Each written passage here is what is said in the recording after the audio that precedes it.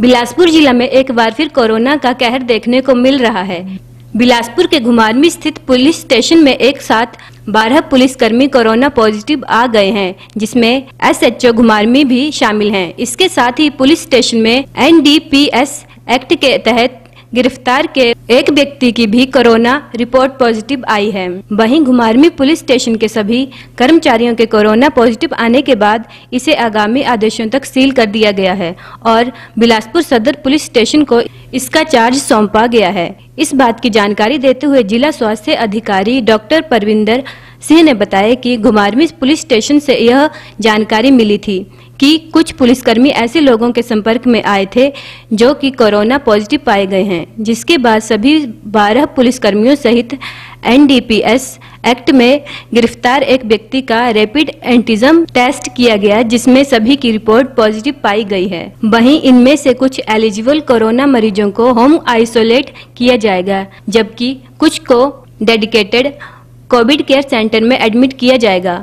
इस समय हमारे जिला में टोटल मिला के अभी तक पाँच हज़ार पचानवे केसेज हैं, वो पॉजिटिव आ चुके हैं। और आज के दिन हमारे पास एक हज़ार अट्ठाईस केस हैं जो एक्टिव केसेस हैं। इनमें नौ सौ तैंतालीस लोग ऐसे हैं जो होम आइसोलेशन में हैं और उनका इलाज घरों में चला हुआ है।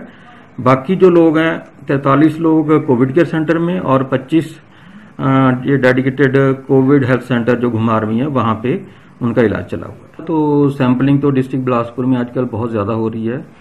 हर रोज़ पाँच सौ पाँच सौ या छः सौ के करीब हम आरटीपीसीआर के लिए सैंपल कलेक्ट करते हैं। इसके अलावा इतने ही सैंपल रैपिड एंटीजन मेथड के द्वारा अलग अलग हेल्थ इंस्टीट्यूशन में लिए जाते हैं। तो इसी कड़ी में आज घुमारमी में पुलिस स्टेशन से हमें इन्फॉर्मेशन मिली थी कि वहाँ पे कुछ पुलिसकर्मी थे जिनके पॉजिटिव पेशेंट जो बाद में निकले उनके साथ कांटेक्ट हुआ था। तो उसी को लेके फिर जब पुलिस स्टेशन में सैंपलिंग की गई रैपिड एंटीजन मेथड के द्वारा तो तेरह व्यक्ति हैं जो पॉजिटिव पाए गए हैं। तो ये जो तेरह व्यक्ति हैं, इनमें से बारह पुलिसकर्मी हैं और एक व्यक्ति अब ऐसा है जिस, जो अभी हिरासत में था। तो ये तेरह पॉजिटिव केस आए हैं। अब ये तेरह लोगों को इलाज के लिए, या तो हम होम आइसोलेशन के लिए जो एलिजिबल होंगे, उनको होम आइसोलेशन में रखेंगे और बाकियों को कोविड केयर सेंटर में भेजा जाएगा। तो ये लेटेस्ट था कि आज एक ही जगह से तेरह जो मामले हैं, ये है तो थोड़ा चिंताजनक स्थिति है, क्योंकि जिस तरह से कोविड